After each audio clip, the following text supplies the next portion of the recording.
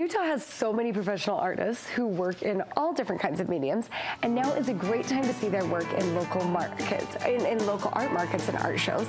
And as I can testify, there is something so special about finding a piece of original art or non-original art, a print, anything that really speaks to you. But framing can be a challenge. There's so many options, it's hard to decipher which to choose. So we asked artist Claire Tollstrup to come today and give guidance on choosing the right frame for your piece of art. So first, Claire, we're so happy to have you. Tell us about the kind of art that you do. So I paint mostly with oils. I do um, like mostly florals is what I'm drawn to the most. I do a few landscapes, a few figures, but mostly oil painting. And those are things that people are really attracted to right now. Flor florals are huge, like across clothing, across home decor, and, and of course in painting, and these are just lovely. So depending on those different kinds of, of um, the art that you like and are drawn to, how, what role does a frame play with art? Well, so the number one role of the frame is to protect the art.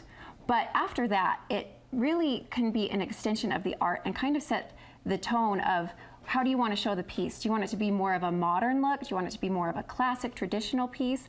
And kind of tie it into the room that you have it. I think you're, and you're absolutely right with that because I think as much as it is to protect, I think of it, you walk into a museum and you think, oh my goodness. Or when you walk into someone's home and maybe they have a wall with five things framed the same and it's such a fun feeling to it, or it makes such a big difference. And you've brought so many examples today of different ways to do it. Give us some general guidelines on what you like and what to look for depending on, you know, maybe it's a printed piece versus an oil. Are there guidelines for those things? So with oil paintings, you want to have them exposed. You don't want to put it under glass because there is so much, um, well, first of all, it's already protected with a varnish. And then um, also there's some, some like details that you can see up close. And so here is an example of a very clean kind of modern look with an oil painting that I did. This is water lilies. And actually this one doesn't have a frame. This is called a cradled panel and I have gold leafed the edge. So if you want to have a nice clean look, then you can Fun. just hang it on the wall exactly like that. So um, if you want it to be more of a modern look, now I'm going to switch it up really fast and get a um, very traditional ornate frame and you can see the difference when I just slide it in here. It makes a big difference with the way it really it shows. Does. Kind of takes it from a traditional or a more modern look, like you said before, to kind of a traditional, something you may see in a museum. Exactly. museum quality framing. Exactly. And wow. I can show you that That's example um, over here again too. This is a um, very clean modern frame. It's called a float frame because you can see the entire painting and it, the frame doesn't come up over the edge.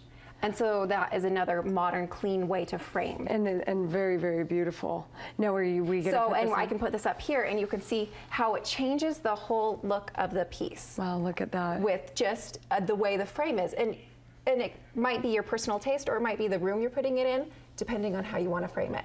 So really, how do you choose the right size frame? Is it solely preference? Is it based on what's in the frame?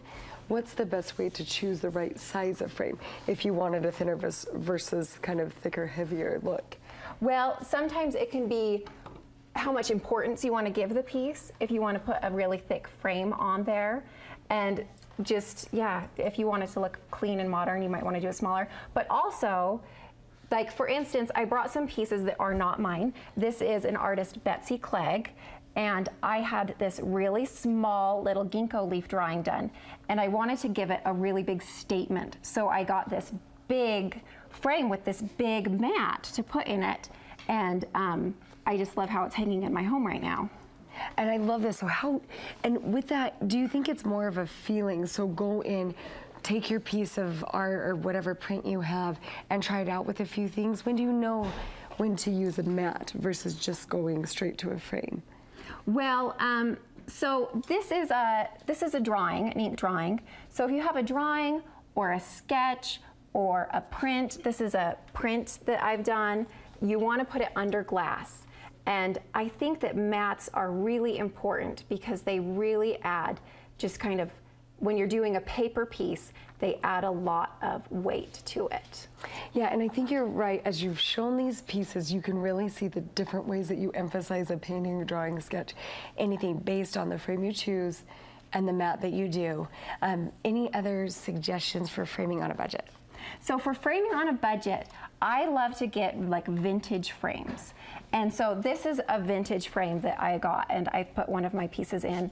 Um, also this landscape right here is a vintage frame. Um, and that is a great way to frame on a budget instead of going and getting a custom frame done.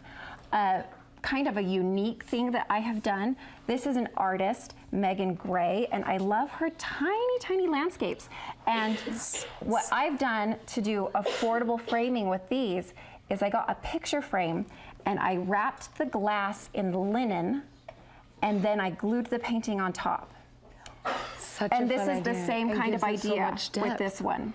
Yeah, such a fun idea. Claire, thank you so much. These are just such a neat display and so many options for people. Much you. appreciated. Thanks.